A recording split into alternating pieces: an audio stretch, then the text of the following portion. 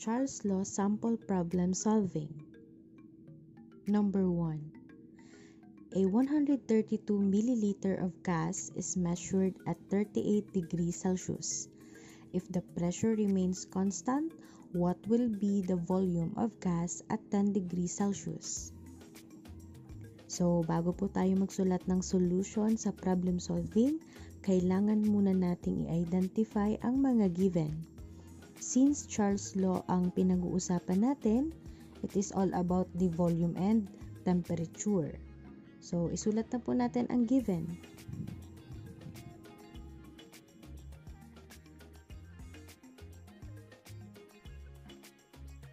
Bago po natin to isolve itong mga nasa given ay i-refresh na muna natin sa ating isipan kung ano ang nakasaad sa Charles Law.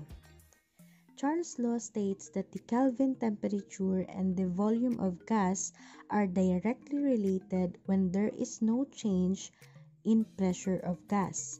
Ibig sabihin na, na kapag nakadirect ang relationship ng temperature at volume, ay ganito yung mangyayari. As the temperature increases, the volume also increases. Or, kapag ang temperature ay bumaba, ang volume naman ay bababa. So, sa entire na pagsosolve natin na sa video na to, ang babasehan natin sa pagsosolve ay ang concept ng Charles Law. Okay po? Ang unit po ng temperature ay naka-Kelvin. So, kung naka-Celsius yan or Fahrenheit sa given, need mo po siya na i-convert bago ka mag-solve.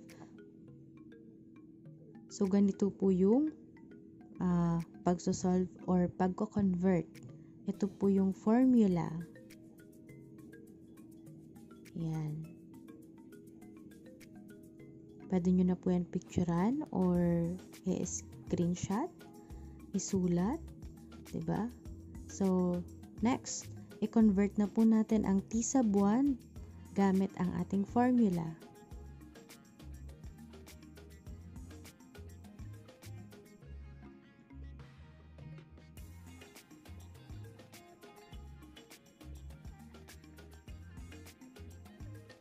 So, ang initial temperature natin ngayon ay 311. So, palitan na natin siya dito sa given para hindi tayo malito. Next, i-convert naman natin ang T sub 2. Same process lang ng ginawa dun sa T sub 1. Ayan.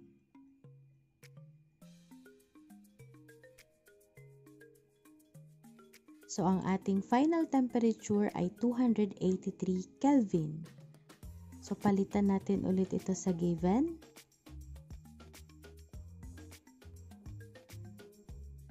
So, what would be the final volume based from the given? So, gagamitin natin yung concept ni Charles Law. Kung mapapansin nyo, ang temperature ay bumaba, di ba po? So, ang ina-expect natin na uh, answer, dapat ang volume ay bababa din. So, proceed tayo sa formula. So, kung hindi nyo pa napapanood kung paano mag-derive ng formula sa Charles Law, ilalagay ko yung link sa description box para may guide kayo kung paano ginagawa ang pag-derive ng formula. Ayan, so as you can see, meron na tayong formula dito. Isa-substitute na lang natin ito. Ayan, so tingnan po ng maigi. Kung mapapansin po ninyo, may parehong unit. Ang gagawin natin sa magkaparehong unit ay ika-cancel. Opo? Next, 132 times 283 is 37,356 milliliter. Divide it by 311. Therefore, ang final volume natin ay 120 milliliter. So, check po natin na if tama yung sagot natin. Ayan, so base sa given, ang ating temperature ay bumaba from 311 naging 283. So sa atin naman pong volume, galing sa 132 naging 120. Therefore, bumaba din. So, kung mapapansin nyo, according sa Charles Law, kapag bumaba ang isang variable, dapat ganun din yung isa. So, yung sagot natin ay tama. Okay? Next, problem solving. A container has 5 liter of nitrogen gas at 25 degrees Celsius.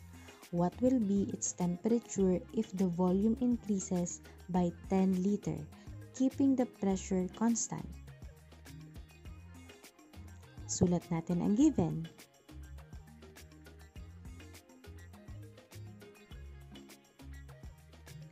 Ayan, so napansin nyo, naka-degree Celsius siya. So, kailangan natin siyang i-convert into Kelvin. So, same process. So, ipa-flash ko na lang dito sa screen.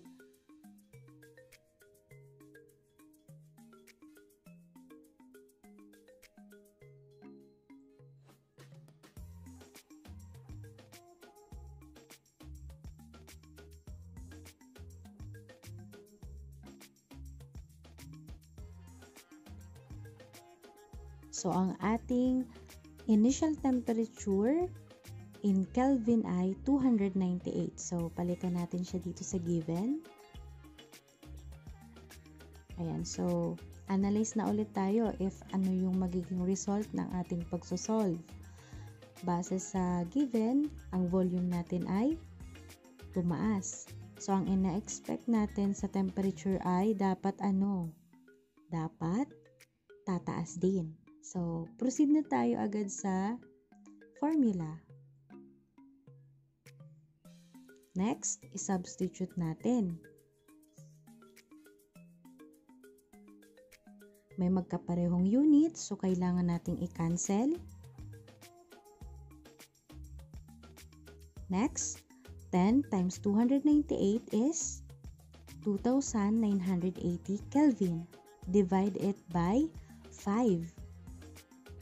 Therefore, our final temperature is 596 Kelvin. So, check po natin if tama yung sagot natin na. Base sa given, ang ating volume ay tumaas from 5 naging 10 sa final volume.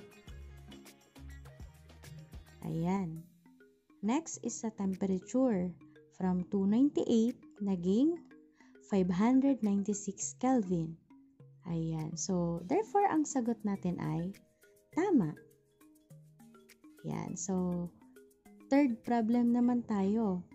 Calculate the volume of a gas in liters at 20 degrees Celsius if it occupies 15 liter at 15 degrees Celsius. Write the given.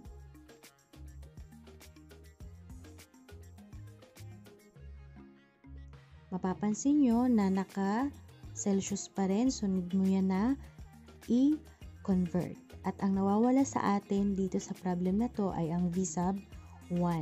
So, mag-convert na muna tayo since hindi naman natin yan pwedeng isolve na naka Celsius. Ayan.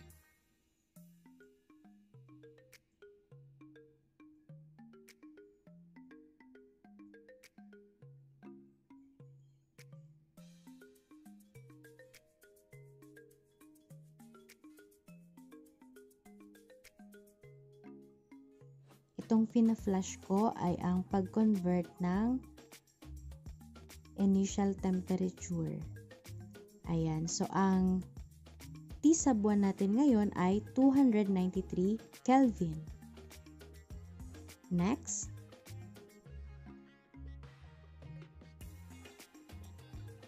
Yung T sub 2 naman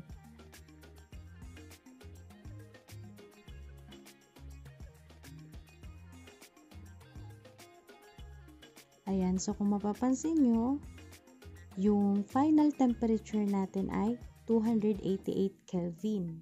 So, yun yung ipapalit natin dito sa given para hindi masyadong nakakalito. Ano po? Ayan. Next. Ano kaya sa tingin nyo ang ating magiging outcome or output, I mean? Kung ang temperature ay bababa, ito, bumaba siya from 293, naging 288, ano kaya yung volume natin? Dapat ay bababa din. Ano po? So, proceed tayo sa formula. Ayan yung formula kapag V sub 1 ang nawawala. So, ngayon, isubstitute na natin gamit ang mga given. Ayan. I-cancel ang dapat i-cancel. And then solve. 15 times 293, the answer is 4,395 liter. Divide it by 288.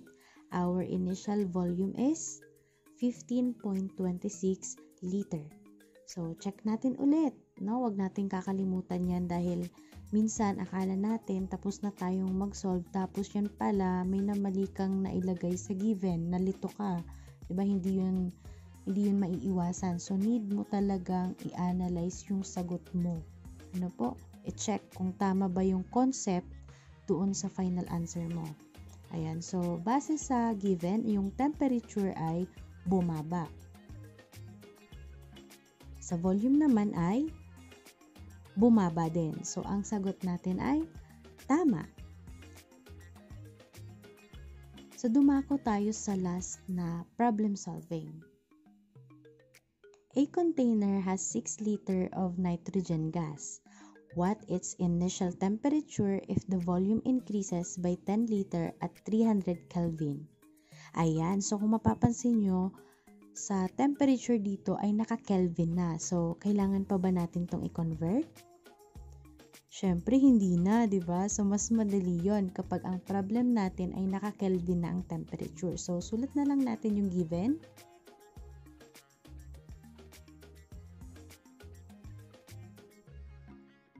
Ayan. So, ngayon, i-analyze na natin yung magiging output or magiging answer ng ating sinosolve. Ano po? So, ang volume dito ay pataas ano po, from 6, naging 10. So, ang ina-expect natin, dapat ang temperature ay pataas. Ayan, so, proceed tayo sa ating formula. Ang formula natin dito ay T sub 1 is equal to V sub 1 times T sub 2 over V sub 2. I-substitute na natin. I-cancel po ang dapat na i-cancel. Next, 6 times 300 is equal to 1,800 Kelvin. Divide it by 10. Therefore, our initial temperature is 180 Kelvin. So, check natin ulit if tama yung sagot natin.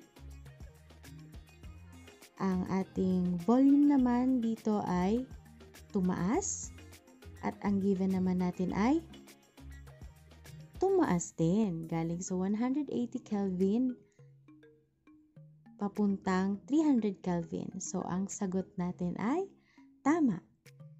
Hanggang dito na lang muna tayo nak and see you soon sa ating next lesson video. Keep safe nak.